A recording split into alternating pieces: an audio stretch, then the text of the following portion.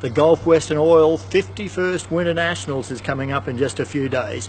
Now, one of the guys that's going to be trying to take out the championship and the event this year is Steve Reed in the All Star Batteries funny car running in Pro Alcohol. We went out to the All Star Batteries uh, workshops just to find out how things are going for Steve. Well, Steve, the Gulf Western Oil Winter Nationals coming up again. It's always a huge event, but this year, a little bit extra importance for you. You're leading the championship in pro alcohol.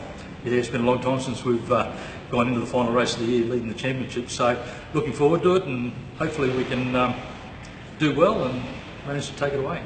It's been Russell Mills that's been snapping at your heels all season.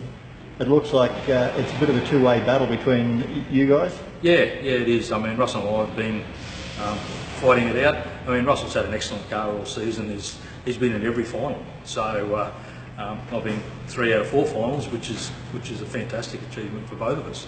Well, Sydney Dragway has just been a place where you've been unbeatable this season, but Willowbank, your home track, you struggle a little bit here. Yeah, for some reason we've got a setup that's been working in Sydney, and you know, definitely happy about that. Uh, Willowbank's different, not better, not worse, not just different. And um, we struggled a little bit at Easter trying to find the, the sweet spot for the car. So hopefully we can we can nail it this weekend. Well, Gulf Western Oil's Winter Nationals always brings out the big guns, and I think we've got 15 entries in pro alcohol. Only eight get to race in eliminations. It puts a lot of pressure on qualifying, particularly for you. I mean, Yeah. you've got to make the field, don't you? Yeah, we do. I, have to, I mean, I have to make the field. If I don't make the field and, and Russell goes a couple of rounds, so he takes the championship. So, yeah, with 15 good cars there, every single one of them is a quality car, all capable of winning this weekend. Um, and it's going to be tough. We've just got to we've got to be one of those eight that get to play on Sunday. Traction's never a problem at the Winter Nationals, that's for sure. And the air conditions normally produce big horsepower figures. Is that a challenge in itself?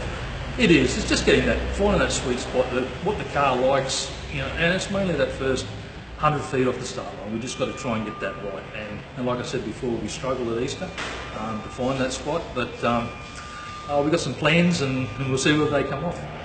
Obviously, the Winter Nationals not only big entry fields, but the spectators.